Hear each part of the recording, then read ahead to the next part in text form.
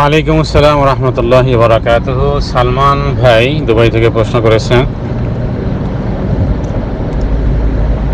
একটি টাইপিংয়ে অনেকগুলো প্রশ্ন করেছেন, একটি প্রশ্ন করবেন। তো যাই হোক, প্রথম প্রশ্নটি হলো যে, শুদ্ধভাবে কোরআন তেলাওয়াত শিক্ষা করার গুরুত্ব কতটুকু? শুদ্ধ কোরআন তেলাওয়াত না জানলে কি হবে? জবাব আবিল্লাহ তৌফিক। কোরআনুল কারিমের সাথে যদি শুদ্ধ করে কোরআন তেলাওয়াত না করা, একটি হলো যে চেষ্টাও না করা আর একটা হলো যে চেষ্টা করতেছে কিন্তু শুদ্ধভাবে হচ্ছে না, দুটি আলাদা বিষয়। যদি কেউ চেষ্টাই না করে, কোরআনের সাথে সম্পৃক্তই না হয়, তাদের ব্যাপারে রসুল্লাহ সাল্লাহ আলী আসাল্লাম তিনি বলেছেন যে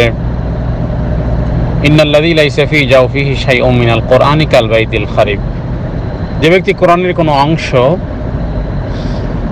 নেই, যার কাছে কোরআনের কোনো অংশই নেই, সে সেজন্য একটা উজাড় ঘর। একটা উজাড় ঘরের মধ্যে পোকা, মাকড়, মাকড়াসা, ইঁদুর মানে পরিবেশ নষ্টকারী যেভাবে করে পোকামাকড়ের আড্ডাখানা হয়ে যায়, সেই ঘরটি যারা কোরআনুল কারিমের কোনো অংশই যাদের মধ্যে নেই, ঠিক তারা এমনই তাদের আচার ব্যবহার সব কিছু যেন এমনই হবে অথবা তার মর্যাদা একটা বিরান ঘরের মতন, যার কোনোই গুরুত্ব নেই। এটি একটি অর্থ হতে পারে। আরেকটি বিষয় কোরআন কোরআনুল কারিম থেকে বোঝা যায় আর তা হলো যে রসুল্লাহ সাল্লাহ আলি সাল্লাম কেমতে এদিন আল্লাহ তালার কাছে মামলা দায়ের করবেন। কাদের বিরুদ্ধে? এই যে কোরআন পাওয়ার পরেও যারা এই কোরআনকে যারা আঁকড়ে ধরেনি, ইয়াকুল রসুল ইন্নাহাদ আল কোরআন মাহজুরা। ইয়া রব্বি, ইন্না কম ইত্তাখাযু হাদাল কোরআন মাহজুরা। নবীজি বলবেন, হে আল্লাহ, আমি তো তাদের কাছে কোরআন রেখে এসেছিলাম, কিন্তু তারা কোরআনকে পরিত্যক্ত অবস্থায় রেখে দিয়েছে। অনুরূপভাবে হাদিসে রসুল্লাহ সাল্লাহ সাল্লাম বলেছেন, আল কোরআন হজ্জাতুল্লাহ আলাই কোরআন তোমার সপক্ষের দলিল নয়, বিপক্ষের দলিল। সুতরাং এই হাদিসগুলো বা এই কোরআনের আয়াতগুলো আমাদেরকে অবশ্যই সতর্ক করে দেয় যে পড়লে পড়লাম, না পড়লে না পড়লাম বিষয়টি কিন্তু এমন নয়। কারণ কোরআন সেখানে আপনার সপক্ষে অথবা বিপক্ষে কথা বলবে। এটা হলো একটা বিষয়। যারা কোরআন থেকে একেবারেই সম্পূর্ণ গাফেল। আরেকটা বিষয় হলো যে, শুদ্ধ করে ক্রিয়া করতে পারে না, কিন্তু চেষ্টা করতেছে। তো তারা অবশ্যই এর মধ্যে আসবে না, কারণ তারা চেষ্টা করতেছে হয়তো বা পারতেছে না।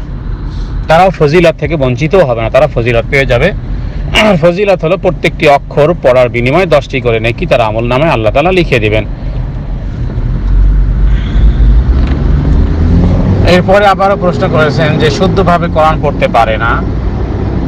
এভাবেই নির্দিষ্ট কিছু সুরা দিয়ে, জীবন পার করে, নামাজ আদায় করে, দুনিয়া থেকে এভাবে বিদায় হয়ে গেছে, তাদের ব্যাপারে শরীয়তের হুকুম কি? জি, এ বিষয়টি বিষয়টি সম্পর্কে কোনো কঠোরতা নেই কারণে যে অনেক সাহাবিরাও এমন ছিলেন। যারা কোরআনের কিছু অংশই মুখস্থ করেছিলেন, নির্দিষ্ট কিছু সুরা বা কিছু আয়াত সমূহ পরিপূর্ণ কোরআনের হাফেজ অনেক সাহাবিরাই ছিলেন না। সুতরাং যদি কোনো সুরা দিয়ে তিনি সারা জীবন সালাত আদায় করে যান, সালাত আদায় হবে। ফজিলাত থেকে বঞ্চিত হওয়া সেটা ভিন্ন জিনিস, কিন্তু তার উপরে কোনো শরিয়াতের কোনো আরোপ লাগানো যাবে না। শরিয়াতের কোনো কঠোরতার আরোপ তার উপরে করা যাবে না, কারণ তিনি সাধ্য অনুযায়ী তিনি চেষ্টা অনেকের আছে মাত্র সুরা দশটি সুরা মুখস্থ আছে। অনেকের আছে যে সুরা কাউসার আর সুরা এখলাস। এত এই দুইটা সুরাই জানেন।